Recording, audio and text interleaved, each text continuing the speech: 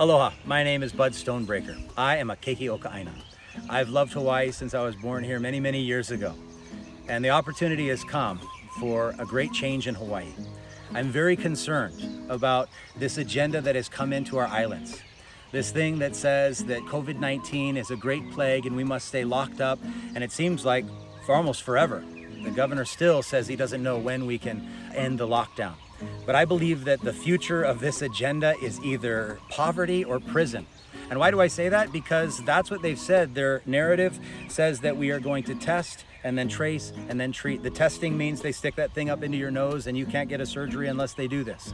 And they use the numbers to see who's sick or not sick. The problem is with this illness, which was called by the European director of the CDC a mild infection, that most cases are asymptomatic. In fact, 99% of COVID cases will pass with just flu-like symptoms. The fatality rate is 0.1% on par with the flu. And so we recognize that the science has become more clear and yet their agenda hasn't. And so they're testing. My neighbor, she had to be tested before she gave birth to her, her child just a month ago. And she said that if she tested positive, they would have taken her baby from her when her baby was born. And, and it grieved my heart to think that families would be separated over this agenda.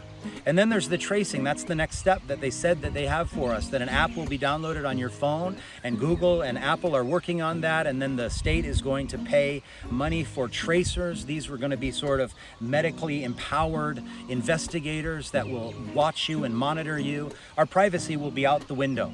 Uh, we have privacy rights here in America with the HIPAA Act and so forth, but this will fundamentally give away your location and your privacy at all times. I believe that's fundamentally against a free society.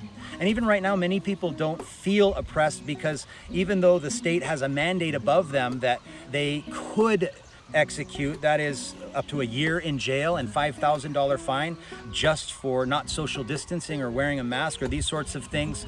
Um, just because they're not cracking down doesn't mean they can't. And I don't believe that we can exist as free people under the constant threat of a government. And I'm going to change that. And the last thing that they said they were going to do is treat it.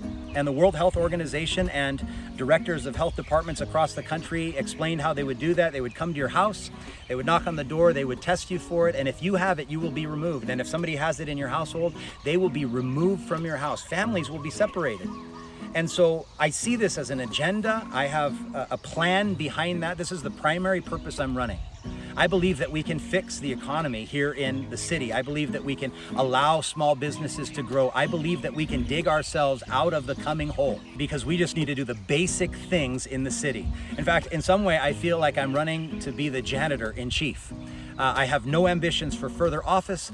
I just know that we need to have uh, integrity in our police department. We need to have integrity in our roads. They need to be fixed. We need to support small business and not be hostile toward them.